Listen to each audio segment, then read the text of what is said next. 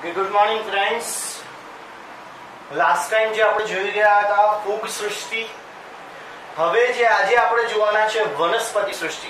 એટલે વિટેકરની પાંચ વર્ગીકરણ પદ્ધતિમાંની ચોથી સૃષ્ટિ, વનસ્પતિ સૃષ્ટિ. તો વનસ્પતિ સૃષ્ટિ વર્ગીકરણ, જૂથ, વનસ્પતિ. એના ઉદાહરણોમાં આવશે લીલ, દ્વિઅંગી, ત્રિઅંગી, અનાવૃત બીજધારી અને આવૃત બીજધારી. જે આના પછીનું ત્રીજા નંબરનું ચેપ્ટર જે છે, આખું વનસ્પતિ સૃષ્ટિનું જ છે. જેમાં તમે બધું જ ડિટેલમાં જોઈશું, આ બધા જ વિશે. વસવાટ, વનસ્પતિ સૃષ્ટિનો જલીય. હવે મીઠા પાણીમાં પણ વનસ્પતિ હોય, ખારા પાણીમાં પણ હોય. અને સ્થલીય, જમીની વિસ્તારમાં પણ વનસ્પતિ જોવા મળે. રચના. તો સુકોષ કેન્દ્રીય કોષ ધરાવે? એટલે સુઆયોજિત કોષ કેન્દ્ર ધરાવે? સેલ્યુલોઝ યુક્ત તે કોષ દિવાલ ધરાવે અને હરિત દ્રવ્ય ધરાવતા તે સજીવો છે. તો હરિત દ્રવ્ય, હરિત કણ અંગિકા ધરાવે, જેની અંદર ક્લોરોફિલ રંજક દ્રવ્ય હોય, તે ધરાવતા સભ્યો.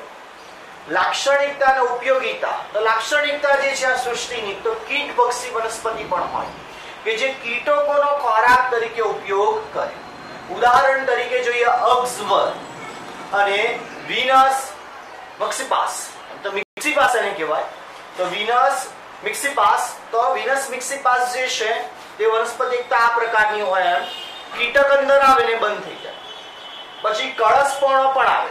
કળશ જેવા આકારની રચના ધરાવે. આ પ્રકારે.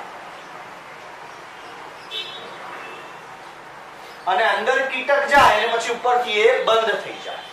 તો એ જે છે કળશપર્ણ પછી અક્ષવર તો અક્ષવર વિનસ મક્સિપાસ અને કળશપર્ણ જેવી વનસ્પતિ છે, કીટ બક્ષી પ્રકારની વનસ્પતિ છે. કીટકનો ખોરાક તરીકે ઉપયોગ કરે.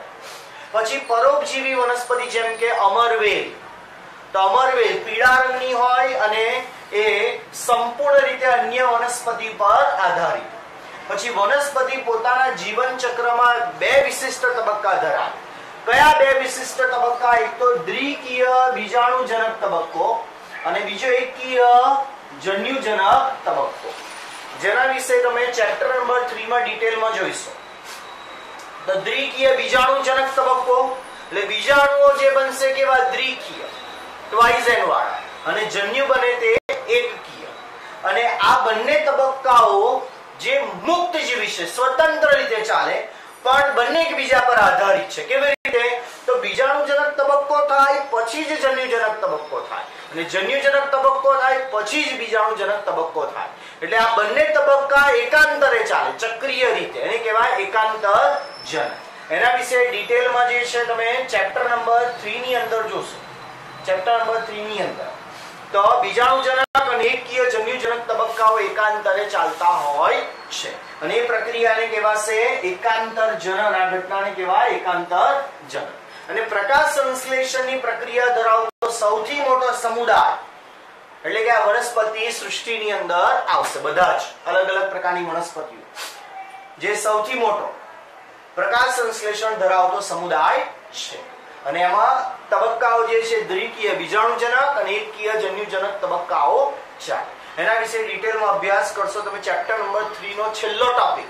તમે જોવો હોય તો ડાયાગ્રામ પછી જોઈ શકો. તો આજે વાત કરી ગયા આપણે વનસ્પતિ સૃષ્ટિ. ત્યારબાદ હવે જે આપણે જોવાના છે, પ્રાણી સૃષ્ટિ.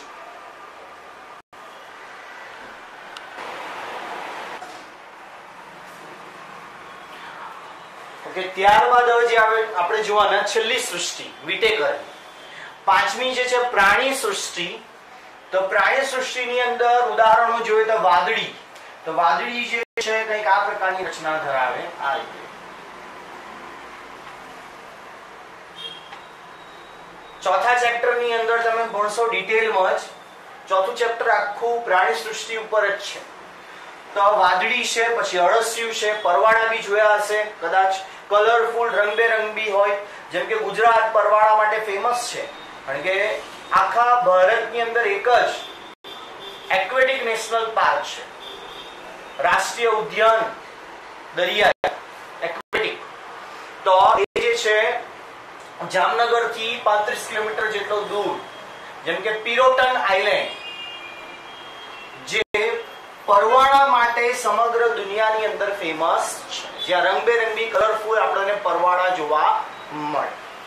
પછી કીટકો ઢોર ઢાંખર અને માનવ નો સમાવેશ પ્રાણી સૃષ્ટિની અંદર થાય. વસવાટ, સર્વત્ર વ્યાપી સજીવ, બધે જ જોવા મળે. રચના સુકોષ કોષ ધરાવતા સજીવો મુખ્ય તફાવત એ છે, વનસ્પતિ અને પ્રાણી સૃષ્ટિમાં કે કોષ દિવાલ ગેરહાજર કે પ્રાણી વનસ્પતિ કોષની અંદર કોષ દિવાલ હોય, જ્યારે પ્રાણી કોષની અંદર કોષ દિવાલ ગેરહાજર આ ઉપરાંત બ્લુ વેલ જેવા ઉચ્ચ કક્ષાના બહુકોષીય સજીવોનો પણ સમાવેશ આમાં થાય. બ્લુ વેલ, જે પૃથ્વી પર જીવંત અવસ્થામાં સૌથી મહાકાય કદના પ્રાણીની અંદર તેનો સમાવેશ થાય. પરિવહન તંત્ર, બંને ધરાવે ખુલ્લું પરિવહન તંત્ર અને બંધ પરિવહન તંત્ર. બંધ પરિવહન તંત્ર જેમ કે મનુષ્યમાં હોય કે રુધિરનું પરિભ્રમણ ધમની, શીરા અને હૃદયમાં જ થાય. જ્યારે ખુલ્લા પરિવહન તંત્રની અંદર રુધિરનું પરિવહન ધમની, શીરાની અંદર તો થાય જ આંશિક માત્રામાં. આ ઉપરાંત જે શરીર ગુહા જે હોય, કેવિટી જે હોય, ગુહાની અંદર પણ રુધિરનું પરિવહન થાય. જેમ કે એનું ઉદાહરણ ખુલ્લા પરિવહન તંત્રનું ઉદાહરણ જે છે, વંદો, કોક્રોચ, કે જેની અંદર રુધિરનું પરિવહન જે છે, શરીર ગુહાની અંદર પણ થાય. એટલે જેમ કે વંદાની અંદર જો આપણે જોઈએ, તો રુધિરનું પરિવહન જે છે, એના અલગ અલગ ખંડીય હૃદય હોય. તેર જેટલા હૃદય હોય. ખંડ ધરાવતા. તેર જેટલા ખંડ ધરાવતા હૃદય. એટલે તેર હૃદય છે આપણે કહી શકીએ.